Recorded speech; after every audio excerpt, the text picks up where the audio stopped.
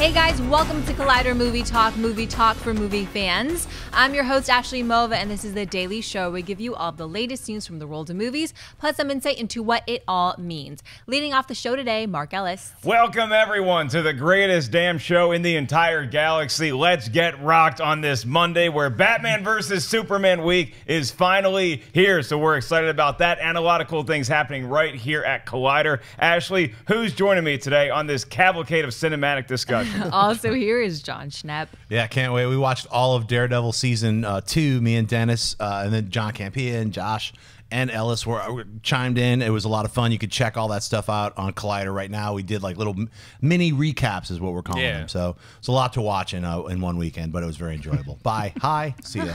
also here, Josh Macuga. What's up, everybody? Big uh, big day here on uh, Collider. I don't want to. Oh, is it? Yeah, I wonder why you're on the show. I don't know. I'll see you, Dennis. Then. All right. I hope you guys had a fun-filled weekend of watching Daredevil. A few announcements here. I'm gonna be like the principal at a at a high school reading to the. Josh Macuga, please come to the office. Um, first up, WonderCon this weekend. We're going to be there. We have a heroes panel. Jon Schnepp is hosting. Uh, John Campea will be there. Umberto, uh, Amy, Robert Meyer Burnett will be there. Yeah, Amy won't be there because oh, she's she out of town. Okay. But, yeah. Uh, so everyone else, that's in uh, at 7:30 in room 152. After that, we're gonna have a meetup at 9 p.m. And we finally locked down a place at the Lux Hotel. It's on Figueroa. I'm gonna make a Facebook invite and I'm gonna tweet that out on my Twitter, and then I'm, I'm sure we'll have it on a Collider video as well. Look for that. That's going to have the address and at 9 p.m. It's on the second floor bar there. As uh, Mark mentioned, Batman v Superman week. We're going to be actually a bunch of us are going to be watching it on Tuesday night which means we're going to do a non-spoilers version during movie, movie talk on Wednesday. We'll also shoot a spoilers version that will air on Friday. Uh, what else we got going on? A uh, little thing called, I mean, uh, Daredevil. Jon Schnepp mentioned that. Watch our, our little mini reviews on the website. And then Josh Macuga, uh, David Griffin, myself, Mark Ellis, and Sinead de Vries will be on TV Talk later tonight. And then one other show we have debuting this week, Mark Ellis, why don't you give the fans uh, what that show is? The movie Trivia Schmoedown, ladies and gentlemen. Y'all been tweeting about it. Everybody is very excited for this show where you pit two, uh, maybe movie knowledgeable, maybe not that much, YouTube personalities. A lot of celebrities are going to be on the show in the coming weeks. First up, John Campea versus Dan Murrell from Screen Junkies. It's going to be this Friday on the Collider YouTube channel. Make sure you guys weigh in with your thoughts on Twitter all this week at Collider Video and hashtag Schmoedown because Ashley Mova is going to be reading some of your tweets during the show. That's Ashley Mova. The hashtag is Schmoedown. She's going to be reading your tweets. It's going to be very, very exciting for everybody. We cannot wait to bring this weekly movie trivia bash to you guys. Uh, with all those announcements out of the way, I guess we'll talk about movies now. Ashley, what's up first? Well, it's Monday, which means it's time for the weekend box office report brought to you by our friends at AMC Theaters. For the third week in a row, Disney's Zootopia takes the number one spot, bringing in $38.1 million, officially crossing 200 million domestic and closing in on 600 million worldwide.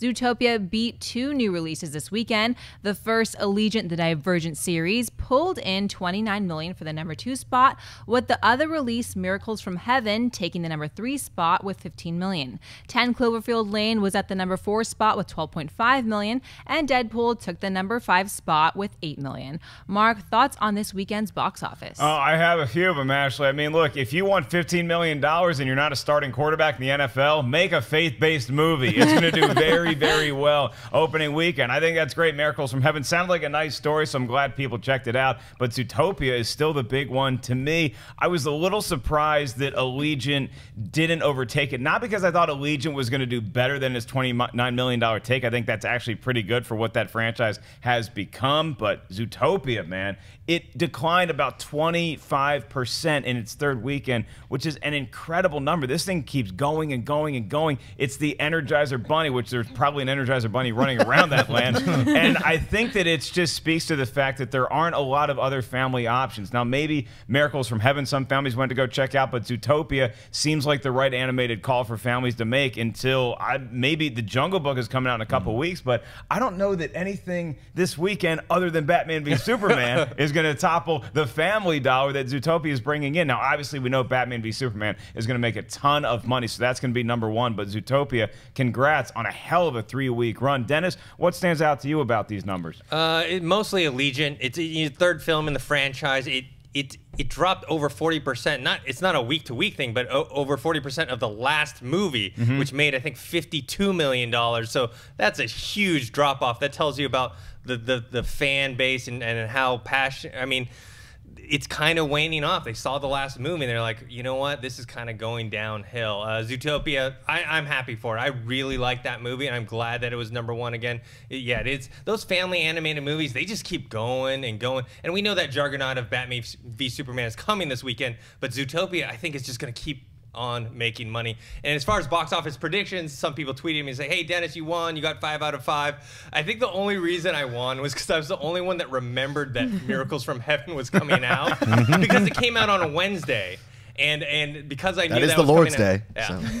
and so I put that in there, and no one else put in there. I think Harlow had zero out of five. So he Oh, got, he got the big donut. That, well, you know what? That's probably why he's not on the show today. Um, you're going to see a lot of Christian on the Schmoedown. Look, I and and it's not a commentary on whether I think the Divergent series is good movies or not. I've only seen one out of three of them. I saw Insurgent, didn't see the first Divergent, definitely missed the Legion. But it seems like the fan base that really cares about those movies are still going out to see them, and everybody else is like, uh, it's just not a phenomenon like they thought it might be a Hunger Games competitor. So that's why the lower numbers every time a new movie comes out. Schnepp, what what what do you see about this weekend's results that really stands out? Well, like you mentioned, I mean, uh, me and Dennis, I, I have only seen Detergent once, and that was when we were in Atlanta. so that's not really my Di- thing. Divergent. Oh, did you resurgent? so whatever it's called. Um, Just Utopia. That's hyphen awesome. gent Yeah, you're there. Do your laundry and then see that movie. Um, yeah, Zootopia and the other family film, Deadpool. So it's it's good to see both of those rounding out the top five. I think that's really great. I like seeing the Ten Cloverfield Lane is still in the mix. I really enjoyed it. A lot of people are had, eh, I didn't like the ending or whatever. Screw off. It's fun. if you never saw Twilight Zone or Black Mirror, get a life. Check that out. Then you'll like t- Ten Cloverfield Lane just a little bit more. So You know, speaking of detergent, your crawl shirt smells spring fresh. Yes, Josh, it's very What fresh. about you? You had a crazy weekend. Did you get to see a movie? Uh, I did not because I I binged until my eyeballs fell out of my head. Uh, Daredevil. I honestly think that a lot of people binging may have just like skipped the weekend Oh, to watch sure. Yeah. Daredevil. Guess what we which- did? We were here this weekend. exactly, And we and, it it. was w- worth it 100. percent I will say. These movies, so you have Divergent, you have Hunger Games, and you have Maze Runner. If you put all of those in a hat and you didn't know it, and you like you gave it to my mother, she wouldn't know what movie it was because they all seem to have like the same title, just in different letter organization. Right. Um, it- it- I don't like these. It's all the same thing. Hot young twenties people attacked by a force that we don't really know about in an Earth we don't know about at a place that really we don't care about. And they just keep like punching us in the face with it. So I don't They're all trying to escape. Yeah. We're, we're, we're being constricted in this one environment that's not cool. Get out. Outside of the wall, there's something different. And then they get outside the wall and there's like Yeah. giant monsters that can attack You you. guys I are think- literally describing my 20s when I lived right under the 101 on Franklin and Uh, Ashley, that's our box office report. What's our next story? On Friday, we learned that Maze Runner star Dylan O'Brien sustained serious injuries while filming a stunt for the final film in the trilogy, The Death Cure. Conflicting reports as to how exactly Brian got hurt were reported, with sources saying he either fell off a train or was run over by a car. On Saturday, however, original Maze Runner author James Dashner took to Twitter with an update saying that Dylan was hurt, but that his injuries were not life threatening. He expects Dylan will make a full recovery. We here at Collider Vi- Video hope Dylan has a speedy recovery. Schnepp, your thoughts on the set accident with Dylan O'Brien?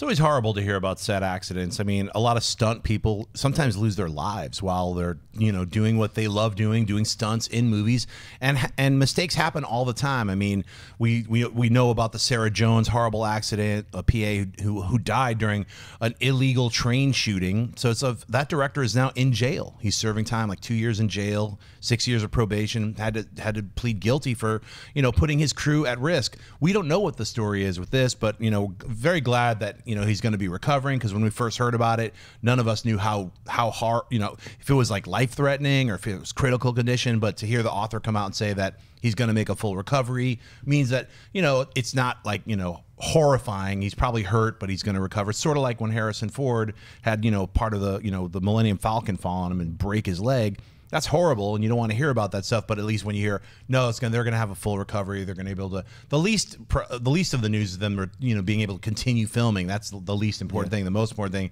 is the kid's going to be okay but you know it's always horrible when you hear that. Yeah i mean with a guy like dylan o'brien he's such a talented actor regardless of what you think of the maze runner movies as films he is really really good in everything he does. He's got a very bright future so i was happy to hear that that's going to be able to continue that while he was seriously injured it's not life threatening he is going to make a full recovery. That's the big big takeaway from here, but it speaks to something larger where you do wonder what the conditions of the set were because as much as you can ensure the safety of everybody around you, there's a lot of insurance forms that people sign. You just can't take care of everything all the time. That mm-hmm. sometimes something bad is going to happen by accident. And one of the things that fans love hearing, you brought up the Star Wars The Force Awakens, is that we heard that they're going back to practical effects. You're going to have real sets. It's not going to be on a green screen. One of the things, whatever you think about heavy CGI movies with green screen, screen, it's a lot safer of an environment. So mm-hmm. I'm not sure. The Maze Runner seem to have a lot of CGI, maybe practical sets in there as well. If you're trying to make a movie look so authentic, sometimes that can really up the risk factor for both stuntmen and real actors in there that are the stars of the movie. So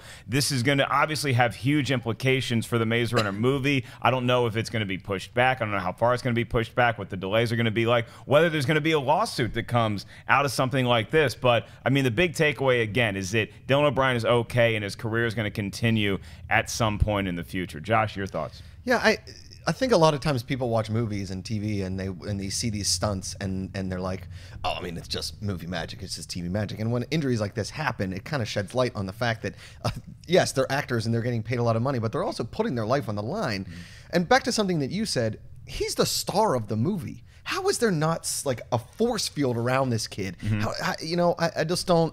You, you got to triple check these things. It's not like he's climbing. Uh, you know, he's rock climbing with Dan Cortese in an episode of Seinfeld. He, I mean, he's on Maze Runner. You know, you got to. There's got to be some sort of checks and balances here that wasn't checked. There will be a lawsuit. That's right, sure. Uh, Dennis. Are you surprised? And what do you think the implications of this injury are going to be? I mean, it was terrible news. We heard it on Friday, but it, you know, I'm happy to hear that he's going to be okay. I mean, and, and uh, along with what Josh is saying, it is like we, we watch movies and TV, and because it's all make believe and we see it on the screen, we forget that it is actually a sometimes dangerous profession, especially for stuntmen and crew members, and once in a while the lead actors who you know sometimes they they know that they want it to be as authentic as possible, so they they push towards practical effects. They probably push towards things that maybe a stuntman could do. Like, you know, you have Tom Cruise like doing a lot of crazy yeah. stunts, man. Yeah. And and the only reason he can get that done is because he's the producer of the film, and you mm-hmm. know what I mean. And so,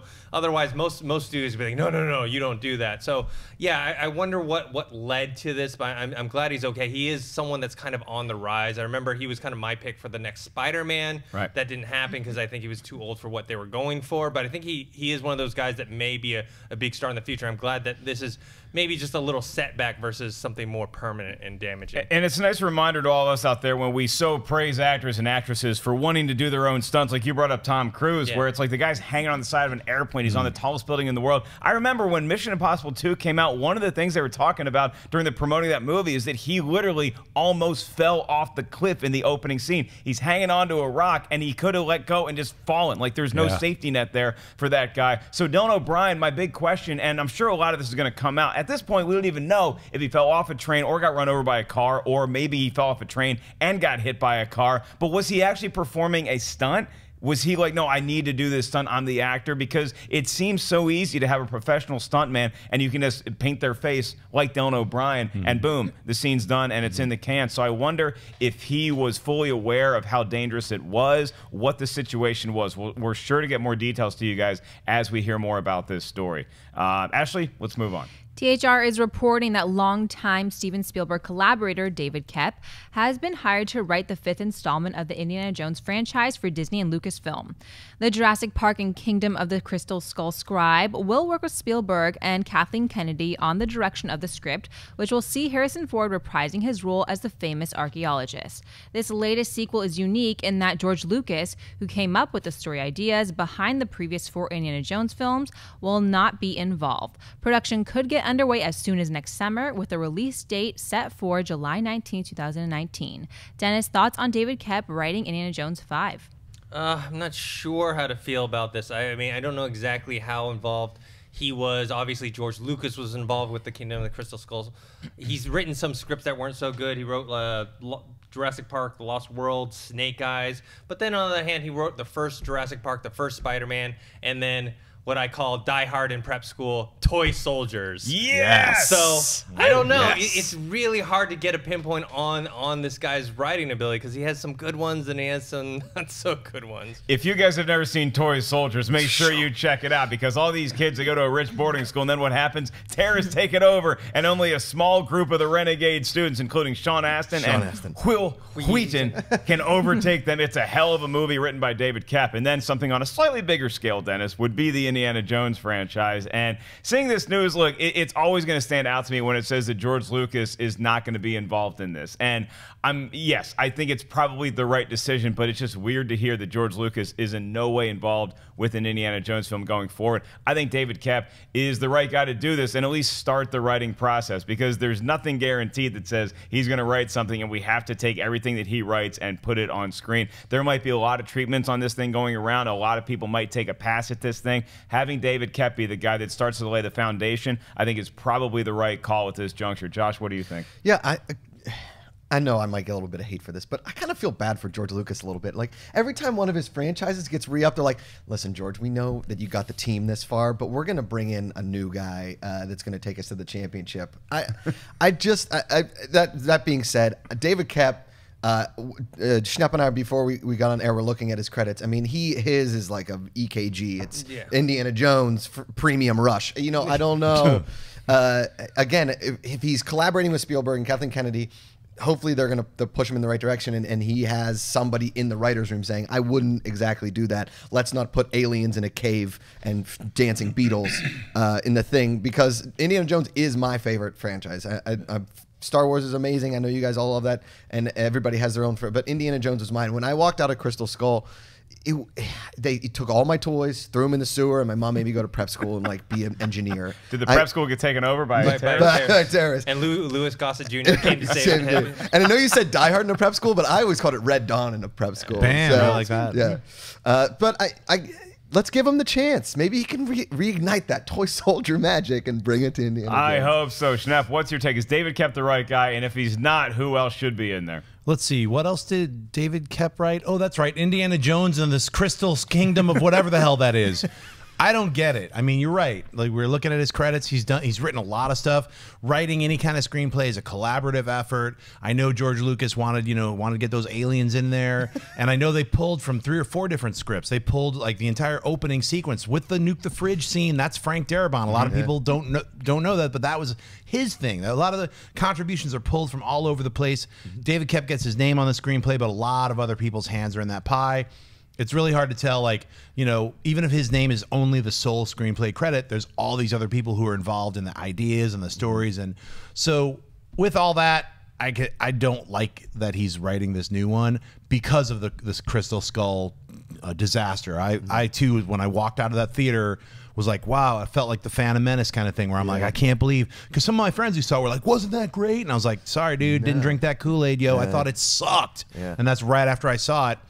I, it's a horrible film, and I hate saying that because I, like you, love Indiana Jones, and I love those three films. I saw Raiders of the Lost Ark totally as a little kid sneaking in to see it. Yeah. We had just seen like one of the other like whatever space adventure was out. Me and my friend were like, "Let's Han Solo's in this. Let's go see it." We just walked into the theater right when the movie began. It was like, bam, my head exploded. I mean, I ruined an entire family vacation because I bought a bullwhip and I cracked it on my brother and he had to get stitches. That like that's how much I love it. No, I mean, so yeah, I gotta, you know, I, I'm not really that excited about you know David Koepp, and not saying he's a bad writer, but it's just like because he wrote that last one, I mm-hmm. just wish they would have given it to someone else. You know, One of the oldest adages in life is never give Josh Macuga a bullwhip. well, make sure you guys hop in the comment section right now. If you're watching us live, the chat room is exploding. Let us know is David Koepp the right guy to write Indiana Jones 5? And if he's not, who do you want to throw in there? And make sure you comment on this afterwards if you catch us on YouTube. Now it's time for buy or sell. This is the part of the show where Ashley's going to present us with a topic, and then we're going to say whether we buy it or sell it. Buying is good, selling is bad. Let's throw some money out.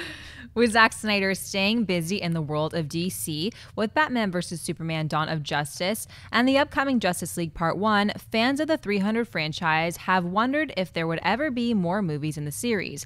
In an exclusive interview with our very own Steve Frosty Weintraub on Collider.com, Snyder confirmed that he has had discussions with Warner Brothers to keep the 300 films going, saying, We've been talking a lot about sort of different incarnations of 300. We've been talking about is there a way possibly we move out of ancient Greece and use it as a framing device for other conflicts that happened throughout history. Snyder then mentioned the Revolutionary War, the Alamo, and a battle in China are current concepts they're discussing as possible movies in the 300 style of storytelling. Josh, or sell more moves in the 300 franchise. I- This is like I guess a weak sell. I'm not. I liked the first one. It was good. Like the effects were pretty amazing. Uh, Gerard Butler's abs could, you know, they're they're fantastic. and then the second one, I don't know. uh, Like if I really liked it at all, uh, I kind of feel like I like slept through a little bit of it. I, like the idea of maybe taking it away from like Ancient Greece and in a, in a cooler. uh, We haven't really seen an amazing Alamo movie ever. I'd love to see it in that sort of vein. But if you go there, that like that that stylistic approach may take away from some of that. Again, just a week so. Yeah, I this is very very hard because I feel like Ashley's trying to sell me a bulk of 300 movies mm. where I have to buy all of them or I can't buy any of them like I'm at Costco and I can't just buy one 300 movie in a different time period and see if I like it or not. This is going to be a very very weak buy for me mm-hmm. because I do want to see how this framing device translates into other conflicts throughout history. I want to see what the Revolutionary War looks like. Let's take it back to the Robin Hood days. Let's put it in let's put it in more modern times. Let's have a Def Leppard concert tour bus with 300 style on it. That would be awesome, but I need to see one of them before I can say whether we should keep doing this because I know that there's a lot of history professors that hate 300 and what that did to their favorite time period ever. So to see this in something that maybe is a little more palatable to us, that's a little more recent, do we want to see this? Because there's been a lot of great war movies made about, say, World War II. So would you want to see the storming of the beaches at Normandy done in a 300 style? To me, visually, it sounds very, very appealing, but you might have to put more of a focus on the story than what Zack Snyder and the 300 team have done with their first two movies thus far. Schnepp, you buying, you selling. Man, I'm buying this big time, yo. Remember Abe Lincoln Vampire Hunter? Now we got some possibilities, right? 300 Washington's Revenge. Oh. Just seeing Washington jump in slow motion. Oh! And he pulls out his wooden teeth at the same time and throws them like ninja stars. It's like, The imagination of this giant man is just incredible. Washington's superpowers. I There's, like, cannot wooden tell a lie. I'm about Yeah. to kick your ass. Uh, Snyder, you sold me. I want to see Washington in like a super action, like 300 Freak Fest, man. I- He has spears from cherry blossom trees. Yeah, I just it, every single one should just have, be called 300, even though it has nothing to do with the 300 Spartans. But what it's telling you is it's going to be an extreme action rendition, and I like it. It's like why not have fun with the past? I mean, you know what? Read your history books, learn about the past, and then you won't you won't believe these movies as as fact. You'll have you'll have a little more fun. Vampire Hunting with Lincoln, it just wasn't a good movie. If you were able to do a good movie version of that, maybe everyone would have enjoyed it. You have that chance. The 300 like cinema. What is it going to be? The 300 verse. What is it going to be? I buy it. They turned the crossing of the Delaware into like a naval battle in the, Fantastic. Revolutionary War. I love it. man. Ben Franklin getting pissed off, slowly taking off his monocle, standing Yes! up to see huge abs, flying a kite in the rain, Yeah. shooting electricity at people. Yes. Dennis, we're writing a pretty Dennis good movie is here. on there. Are you going to buy no, or sell? I wanna so, see it. so I buy Version of this, right? but in terms of this one, I'm actually selling it. It, it, it you know why I'm selling it? Because it smells of what, what what happened with the Cloverfield franchise. It's it's where we're getting dangerously close to now making movies that are kind of related to other ones, right? So Cloverfield. You know, they they put that name on there because they wanted to sell movie tickets. It originally was called The Cellar. We talked about like two or three years ago on AMC. Um, and it had nothing to do with it. They slapped on the name. It made way more money than it would have if it had the name The Cellar. And this is what 300's doing. They're gonna like slap the 300 brand on it. And have it kind of like related. They use the same style or whatnot. So that's why I'm selling it. I mean, 300 was it was the amount of soldiers that were competing in that first battle. Yeah. Yeah, right? the And then- then they put Yeah. 300 because the second movie, Rise of an Empire, still had to do with that battle. I It was I more can't like imagine- 550 in the Yeah, second one. it's- Of course, your numbers are 300 seconds of Eva Green naked. That's What, what, if I they just remember. put the exact amount of soldiers that were involved in like every battle? Right. So if it's like sometimes the movie's called 18, sometimes the movie's called like 38,000. Like it'd be it's but again, the the intriguing factor of seeing a Gettysburg movie done in the 300 style. I was just gonna go Gettysburg. Yeah. kinda wanna That's see the way it. to get Lincoln back in there. Yeah. a little Yeah. bit. Come to our meet and greet at WonderCon this weekend. and that's what we're all. Pitch That's us all, 300s. that's all we're gonna talk about. Right? About I want gonna the best these. George Washington cosplay with the wooden teeth shurikens. Either come ready to pitch a 300 movie or don't show up at all. That's the Collider Vasco fan da. Gama 300. Ashley, we are done with buy ourselves. No, we actually have one more. Let's We talk do. about it. Steve Weintraub was also able to speak with Zack Snyder about some of the villains in the Batman vs. Superman, specifically asking if the Joker was close to making an appearance in the movie. Snyder confirmed that not only was the Joker close to being in the movie, but that another Batman villain, the Riddler, was also close to making an appearance. Snyder explained that while working on the script with screenwriter Chris Terrio, their mythological presence was felt, but that he didn't want to get his eye too far off the ball because he needed to spend time on the central conflict of Batman and Superman. Mark buy or sell appearances by the Joker and the Riddler in Batman vs. Superman. Well, I buy that it probably was getting close, but I'm going to sell that they should have appeared in the movie because this movie is two and a half hours is the reported running time, and then we're going to find out just how crammed with superheroes and villains it is when I get to see it tomorrow night. Sorry to make everybody else out there jealous. Um, I'm very excited about where this movie is going, the direction it is. But remember, this movie started out as Man of Steel 2, then it became Batman v Superman. So you're putting Batman in there, and from the trailers, it looks like we're getting a heavy dose of Batman, what his history was, what his future is going to be going against this alien, and then obviously it's called Dawn of Justice for a reason because there's other members of the Justice League. So that is so much more than anything I would ever hope to have in one movie to begin with. So to put the Riddler and the Joker in there, even if it just for a little bit seems like a little bit of overkill, and I think more so than that, it might have reached a little bit of desperation where they're just trying to sell us on familiar characters, and I'm glad that they're not relying on that. I think the worst thing you could have seen in a Batman versus Superman trailer is throwing in, oh, and look, don't worry, we have the Riddler, and we have the Joker, and Doomsday, and Wonder Woman, and Lex Luthor, and maybe Aquaman and the Flash. Just way too much to chew on. I love the Riddler and the Joker as villains. I just don't think that they belonged in this movie because, again, it's called Dawn of Justice, but it's also called Batman versus Superman. Schnepp, what do you got? This is Gotham, right? Um, I was gonna say this is America. George Washington. They did a Batman movie in the Kick 300 somebody style? into the river. It's like oh, yeah. It's not bad. slow Not motion. a bad idea. I want to see Valley that. Forge just under Yeah. fire in Washington on top of a building. Kicking someone off something. Betsy Oh! Ross sewing Yeah. the flat. Real savage style. She's getting that star on there. Anyway, Joker and the Riddler. You know what? I swear to God, I think the Joker is in it in a flashback form, and he might have gotten excised, and now he's in the R-rated edition because he's just beating Robin to death, and they're like, "That's a little too savage." I'm, I'm, I feel that I think that they shot Jared Leto, and that the Joker's in there, and mm. maybe he's just in the R-rated special edition because that'll sell. That's a lot more hotcakes, you know. If you're mm. like, "Hey, the Joker's in the R-rated edition."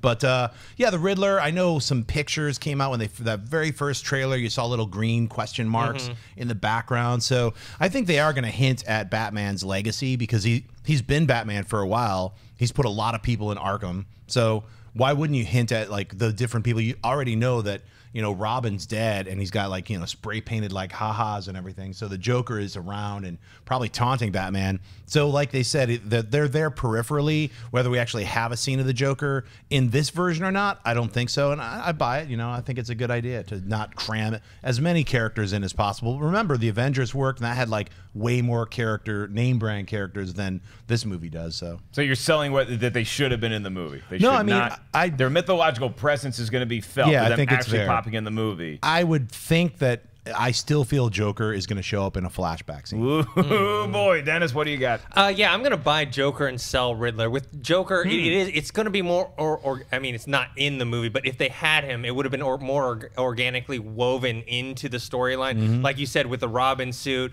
uh, Joker always plays a big part in Batman story. We pro- you know we know that he's gonna be in Suicide Squad. We know Batman's gonna make a cameo in there. Right. He's ma- he's probably gonna be the main villain in the Batman solo film.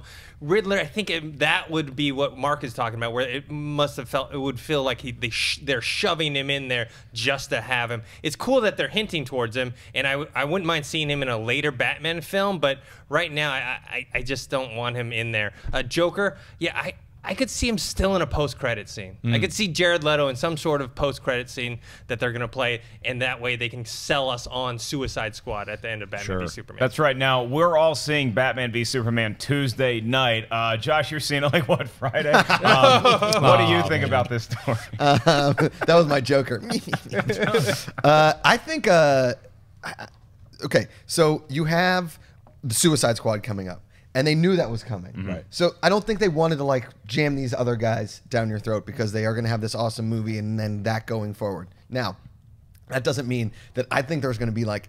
30,000 Easter eggs in Batman vs. Superman. Like, they're going to be everywhere. There's going to be a guy in there, like, doing a, a blog, like, oh, I cut it at minute, you know, and he's going to release that whole Yeah. thing. That guy is going to be awesome.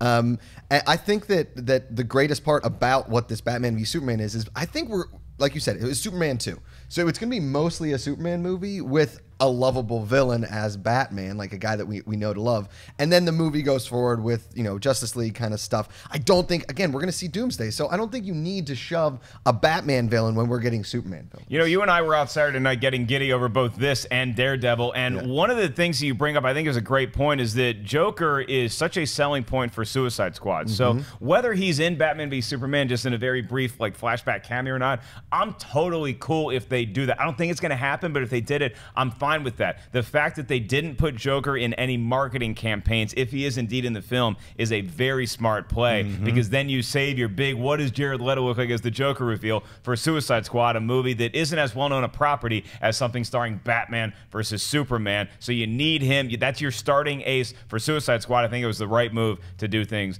that way. Well, that is it for buy or sell. So now we're going to move on to mailbag. But we want to remind you guys at the end of this here program, we're going to take some of your live Twitter questions. So make sure you guys tweet us at Collider Video. Ashley is going to be the gatekeeper today, so make sure you be extra especially nice to her. And if you want to guys get one of your mailbags read on the show, just write us at collidervideo at gmail.com. Take a cue from the three we got today. What's up first?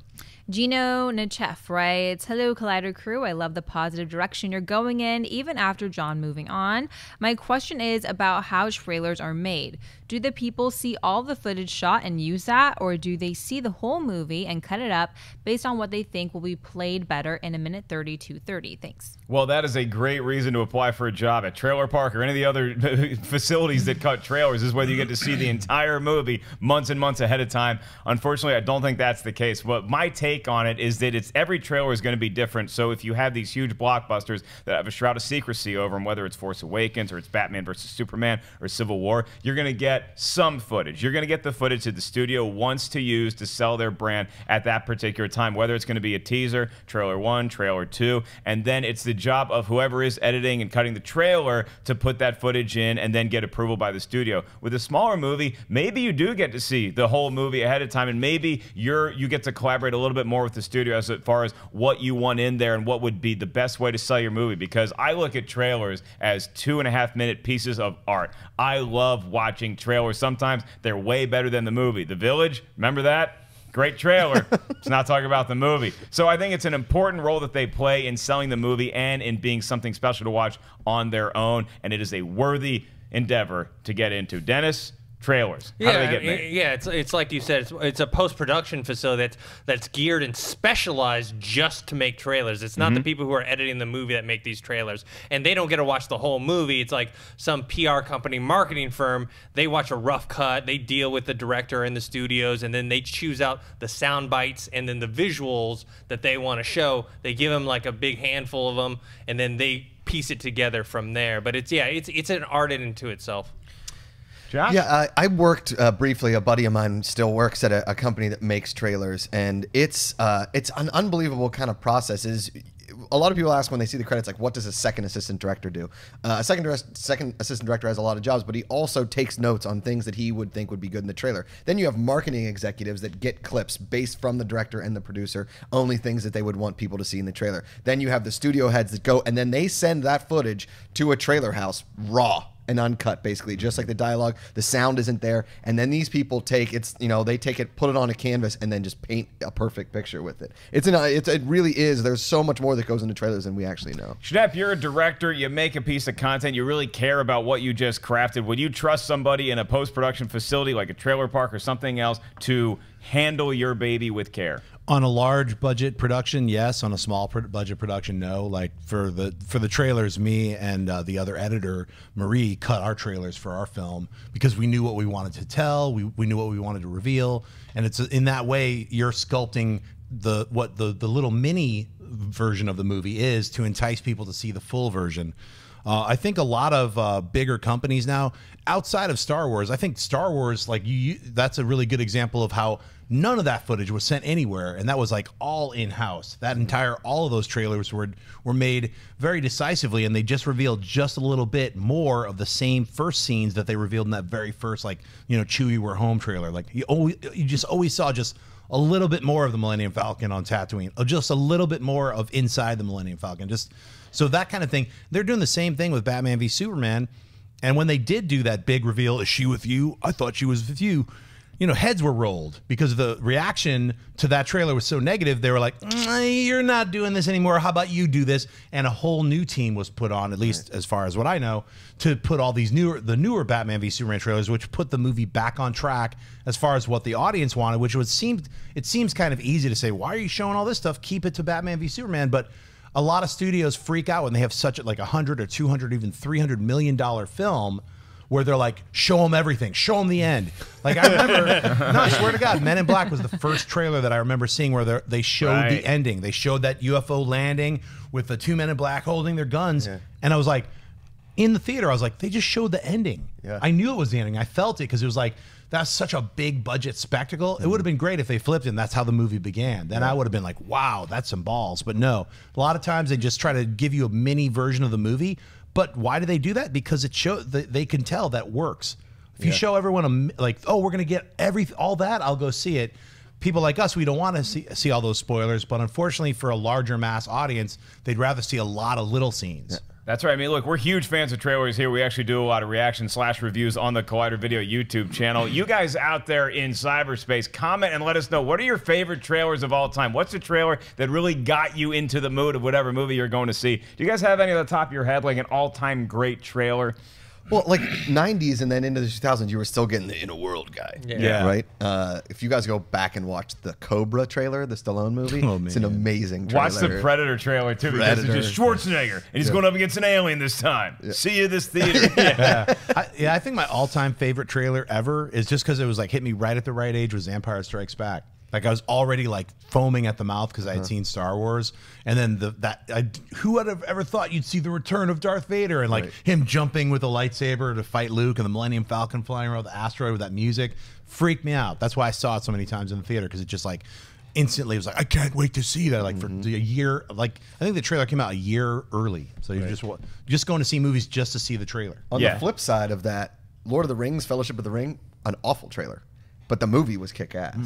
So I, I don't know. Dennis, what do you got for a contender as far as greatest trailer you've ever seen? Oh, I don't know. I mean, there's so many good ones. I know the last great one I saw was that Mad Max one. Uh, I think it was the second one. I, I can't remember. Yes, the second one where it it was was just just, like, the, the classical big. music Yeah. and all the, the like. It was like a controlled chaos, all the shots, and it was like it told you exact. So when I saw the movie, I was like, this is exactly what I was expecting because Yes. that trailer didn't reveal too much. But at the same time, it gave me the tone and feel of how it was going to be, and I loved every minute Yeah, I'm, it. I'm seeing a lot of good ones in the chat room right now. You got Inception. A lot of people are saying uh, the Social Network, which which I thought was a great trailer, but I just didn't like the the choir singing Radiohead. I thought that was kind of odd to me. My favorite trailer to this day, I still think, is Star Wars Episode One: The Phantom Menace. that first teaser that came out was just so good and captivating, and I could not believe Star Wars was back. And then you see the double-sided lightsaber. It was a pretty sweet trailer. It's too bad it was full of lies. You know, been. I- you know I- what was a most recently was a trailer that everybody talked about how it kind of ruined the movie was Southpaw.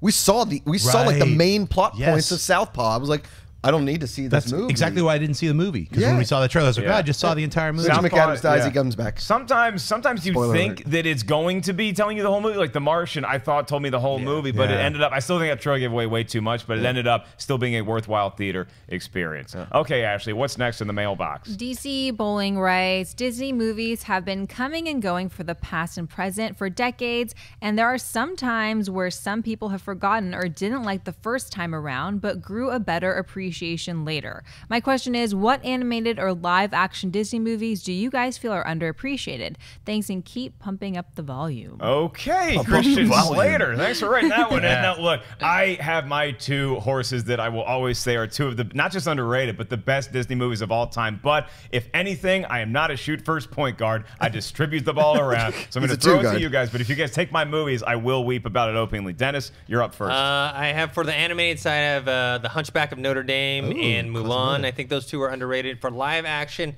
I have Enchanted. That was the one with Amy Adams, Patrick Dempsey, I and uh. James Marsden. Who were you in that movie? I was a, a right behind her when she uh, she stepped on a midget in New York City, and I was like, "Hey, watch it!" That was me. Nice. nice. did you uh, did she know you were right behind her? Or was that like a uh, That Were was you, a were you actually in extra. the movie, or were you uh, someone walking was- on the streets of New York that just happened to get into the I was a well placed extra. Okay. Then. Nice. Fun was a fact: When you watch extra. Three Men and a Baby, Josh Macuga is the dead kid. Yeah. in the window. Whoa. What do you got for your favorite?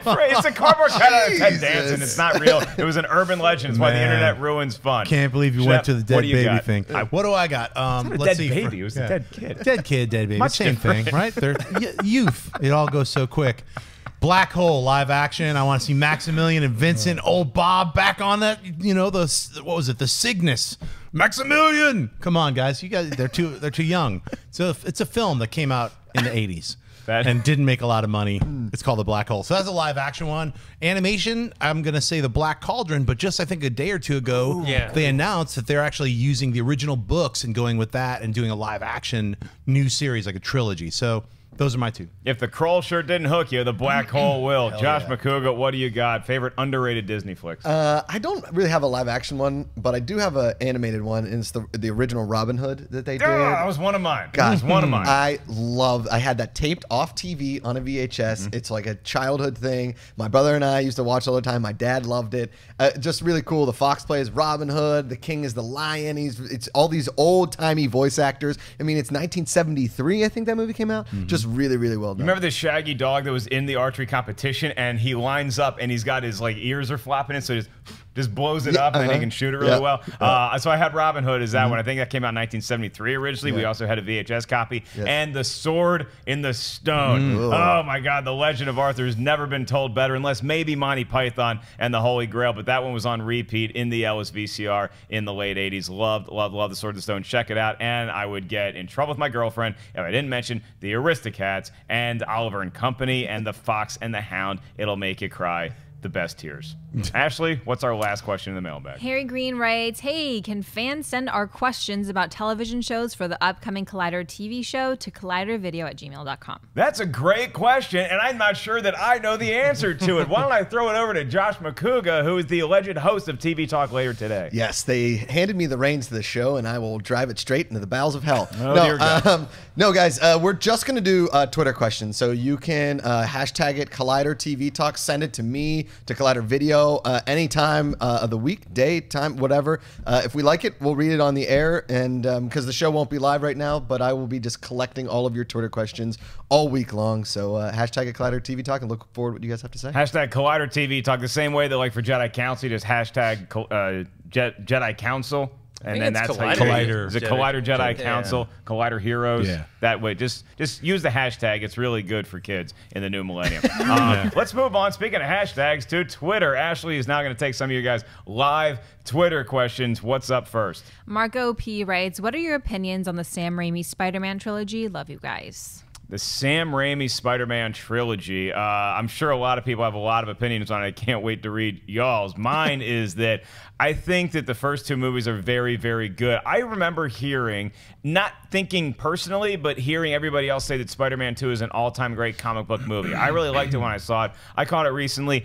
I didn't think it holds up as well as some other comic book movies have over a decade, but I think that Spider-Man 3 had a lot going for it going into it, and it really just fell apart. It got a little too bloated. You had some crazy scenes in there. I can forgive like a goth dancing Tobey Maguire in that movie. What Mm-hmm. I can't forgive is wasting Venom in a movie that didn't need him. You take out Sandman, you give us all of Venom, or Sandman was a villain that could have carried you through that movie. But the first two Spider-Man, I think, are big achievements, and what they represented over the comic book movie landscape is that these things are not just going to be big, big movies like X-Men was. These things are going to be juggernauts. They are one of the big reasons why we have all these great comic book movies that we're getting excited about, like this weekend with Batman versus Superman. Schnepp? Yeah, quote Meatloaf, because two out of three ain't bad. I'm with you on that. Well, Um, guys, meatloaf. uh, Always Could great. pull show out when you When did he get into the building? Get that out of hell, son. Um, yeah, you know, we're, we're all metalheads here. So anyway, yeah, Spider-Man 3, I didn't hate it. It's not a great film. It has some good moments. It's just way too many villains, and it's very uneven. I agree. Like the Sandman setup was great. I thought that would have worked perfectly. I like the black suit symbiote with him having that black outfit. They should have saved Venom for Spider-Man 4. They just tried to cram way too much in there, and they tried to bring it the Green Goblin, you know, the son of the Green Goblin in, and he looked like a like a weird kind of like mm-hmm. sports racer guy or something. None of that's Speed really yeah, racer. speed, yeah, it, was, it was just weird. But uh, yeah, Spider-Man one and two are fantastic. I love that Raimi stayed true to the old Stan Lee, Steve Ditko, but updated it enough so it didn't feel like it was tired or old. It just felt really cool and refreshing to see, and it was bright and fun. And Maguire was great as Spider-Man. He, he was great as Peter Parker. So I love those first two films. The third one, unfortunately, didn't nail it. So. Yeah, Spider-Man fans will do anything bur- for love, but they won't do Spider-Man 3. Josh, what do you got? Yes. Uh, I, I watched the first one by the dashboard lights. Um, Oh, yeah! And so I see what I did there. You're. Three meatloafs sitting on a tree. um, again, I was uh, when I first moved to Los Angeles. They if Spider-Man Three was just being released, and I was on the Sony lot, and there was Spider-Man Three everything, and I was such a big fan of one and two. Uh, that you know that was like the really the reintroduction of superhero movies because we had gone through this like dark ages of of the. Even though I love the Phantom with Billy Zane, we we had saw we saw like Smash evil. yeah, we we just saw like some weird incantations of superhero movies, uh, like from Tim Burton's Batman, then we you know Batman and Robin, all that kind of stuff. So Spider Man brought us back to the thing. Where it was like, oh man, these are awesome because he was so good, and Tobey Maguire. But then he like he, I feel like he almost mailed it in acting wise in three, and Venom is, if you guys don't read the comics, Venom is one of the greatest characters villain characters in a lot of those comic books. It's like in uh, Link, the second Zelda movie, when you have to fight your shadow at the end. That's Venom, and it's a dark Spider-Man, and it's a really dark tone. And they took it in a weirdly light tone, and that was unfortunate in Spider-Man Three. Dennis? Yeah, I, I thought the first one was good. I think it was solid. It was, yeah, like you said, bouncing back from some of those bad superhero comic book movies. And the second one brought it up to another level. Was was very very excellent. And then you had uh, the Doctor Octopus. I, I didn't Alfred expect, Molina. Yeah, I didn't Yeah. expect that story to be so compelling. Yeah. And so we were all on that high, thinking, "Oh, the third one's gonna be great. It's got Venom in it. He, Sam Raimi, he knows what he's doing." And then we watched it, and it was like, okay, what am I? I mean, I just remember being in the theater and seeing that emo Peter Parker dancing, and I was like, what movie am I in? right? Like, I it, it almost felt like they decided to change and do a different movie at that point. So. Yeah, that's kind of the thing that everyone remembers instead of the, the, the first two. That's right. A lot of people right now in the chat board celebrating the greatness of Spider Man 2, not so much Spider Man 3. And now people remember that Billy Zane was in a Phantom movie. Our next Twitter question is Ico writes, "What two actors have you mixed up because of their looks?" Dylan, Dylan McDermott and Dermot Mulroney. Uh, those names are tough. Bill Paxton, Dude. Bill Pullman for sure. That's really good, too. His Dennis, you got name-wise, one? yeah. Jeffrey Dean Morgan and Javier Bardem. They look the same Yeah. until they start talking, and you're like, oh, okay. I actually have made that mistake multiple times. Yeah, I also thought Max von Sydow was dead, so sorry about that. Schnepp, who you got? I don't have anybody. How about Jessica Chastain and Bryce Dallas Howard? Ooh. They're very similar with the redhead kind of thing. Both like intense women that are in really good movies. Amy Adams, Isla Fisher, I constantly. Yeah, yeah, yeah, those two. Constantly. That's a good one. All right, what's up next? Calvin Duncan writes a movie most people and critics love, but that you hated. A movie that most critics love that I hated. By the way, somebody just wrote Topher Grace and Mark Ellis. yes, yes. a movie that most critics hated that I loved, or, or a movie that most critics loved and I hated. Loved and you hated. Ah, man. Um, I, I, I think that I really liked the movie Drive, but it seems like people worship that movie with Ryan Gosling in it, and I thought that the first five minutes were incredible, and then the movie just kind of lost me after a while. I still liked the movie. But it just was those movie. It was one of those movies that everybody was talking about, and I was like, again, t- explain to me why this is great. So maybe I'm a dope. That's probably the case, but I just didn't see the greatness in Drive. I saw that it was a good movie. Uh, another one like that where it's not that I hated the movie, but I just thought it was good versus excellent, and it won it won an Oscar was Hurt Locker. I watched it and. I thought I thought it was well directed, but some of the dialogue wasn't that great, and some of the scenes I, I didn't care for, and and also I had seen something around the same similar subject matter that I thought was a lot better, which is uh, Generation Kill by David Simon on yeah, that's HBO. good, sure. And then watching Hurt Locker, I was like, okay, this is good, but I, I don't know why everyone was praising it so much. Here's one that's going to cause a lot of controversy. I can't even remember what it's called. It won an Oscar. It was animation this year. What was it? You guys Inside all loved Out? it. Inside Out. I'm with you on that. I one, just Schnepp. did not like it. I thought it was real simple and uh, Very, It very just was like, hey, isn't the brain a lot more complex than these four things, and everyone else has the same four things?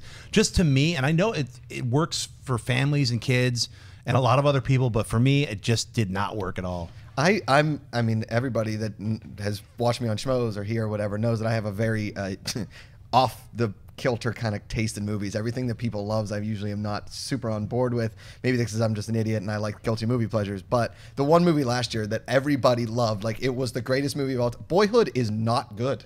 It's not a good movie. Come on, It's- I liked it. It's Preach. long. Congratulations, you put a camera on a kid for 12 years. The movie itself is just like, I like emo music and my mom's depressed. Like, give me a freaking break, man. Uh, you movie know what? Maybe when you age six more years, you're going to become a man and figure out why boyhood was so beard would tell special. you different, So Mike. many others. What's up next?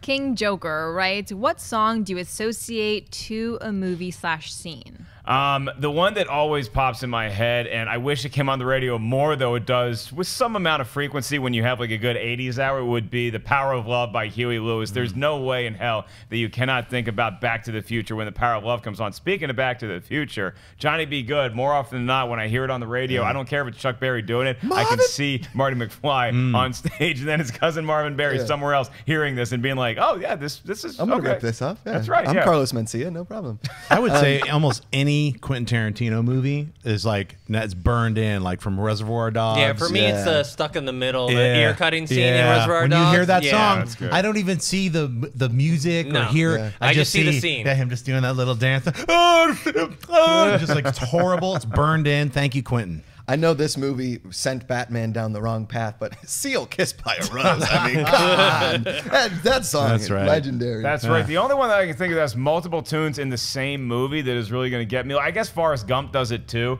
Because Forrest Gump has so many great classic rock songs. So if I hear Jackson Browne running on empty, I'm going to think about Forrest running across the country. But I'm also going to say Top Gun has like four songs in that soundtrack that still get played on the radio with a regular basis. And all of them Danger Zone, Take My Breath Away, the Top Gun anthem's great. Uh, Mighty Wings by Cheap Trick. There's a lot of great There's tunes. And clearly, I'm a fan of 80s movies. Uh, and clearly, we've talked about this before. Dazed and Confused might have one of the greatest soundtracks Oh, of all time. yes. Slow Ride, Foghat, yes. Alice Cooper, Schools Out. I mean, that is an incredible soundtrack. If you guys want to know why we like classic rock, listen to the Dazed and Confused And soundtrack. then Everybody Wants Some comes out soon. Yeah. Maybe there's a couple good songs on that soundtrack. Actually, let's do one more Twitter question and call it a day. Okay. Dylan Payton writes, Why do some films shoot out of order and others don't? Most shoot out of order. Yeah. Shoot Most films order. shoot out of order. Yeah.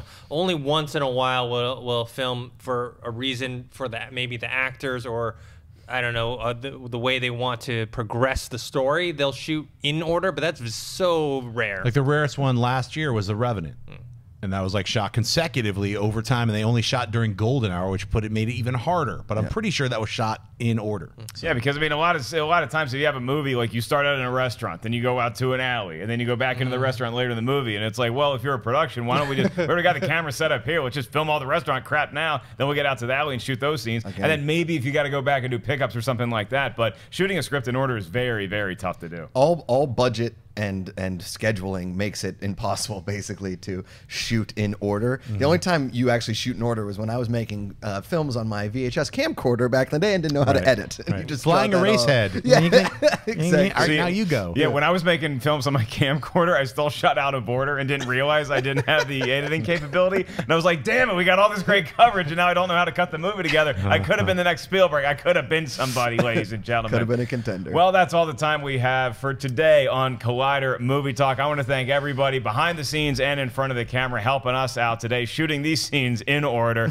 First of all, Dennis Tzeng over there in the corner. Where can people find you? Uh, just a reminder, WonderCon this weekend, TV Talk today. We got the Batman v Superman stuff coming. Our Daredevil recaps, check them out. Uh, you can find me on Twitter at ThinkHero or on Instagram, dennis.tzng. Josh Macuga, you host a new show, right? Yeah, guys, big day today. Um, uh, TV talk. We're gonna tr- we're gonna air it in the evening every Monday. Uh, you know, hashtag at Collider TV talk. We're gonna talk. It's gonna be a lot like movie talk. Talking a lot of TV news because there is a ton of TV news right now. We're in the golden age of television. You guys asked for this show, and I'm so so excited to uh, to be a part of it, to host it, and to really bring it to life. A lot of TV, a lot of Netflix, a lot of Hulu stuff Yep. on there. It all counts in TV talk. How about Mr. Jon Schnepp? You guys can follow me on Twitter and Instagram, just at Jon Schnepp. Check out my Kickstarter. It's a movie called Sweaties Unite Rise of the Uber Nerd. It's all about comic books and how do we unite all of us sweaties. So check it out on Kickstarter. It's better to fade out than fade away. The Rock of Ages by Jon Schnepp and Ashley Mova. Can you quote Def Leppard? Not at all. Oh, You guys can find me on Twitter and on Instagram at Ashimova. Happy Monday, guys. Somebody pour some sugar on all of us. My name is Mark Ellis. Don't forget, guys, that you can check out the movie Trivia Schmoedown airs on Collider Video this Friday. John Campea versus Dan Murrell. Tweet us this week. Start right now and hashtag Schmoedown because Ashley Mova is going to read some of your tweets live on air. Don't reference Def Leppard. She's going to have no idea what you're talking about. Do you think Dan's going to win? Do you think John's going to win? Let us know right now. And remember, there's plenty of great movies playing both right now and in theaters this weekend Batman and Superman. So get your tickets at amctheaters.com and go there for all the latest box office showtime information. Bookmarkcollider.com. That's the website where you can go. Check out all the latest in the world of movies, as well subscribe right here, Collider Video on YouTube. My name is Mark. I'll be at WonderCon this weekend. We're doing a meet and greet Saturday night. See you guys then. Pour some sugar Guys, if you like this video, click the thumbs up button. Also, make sure you subscribe to our YouTube channel. It'll help you stay up to date with everything we've got going on here at Collider.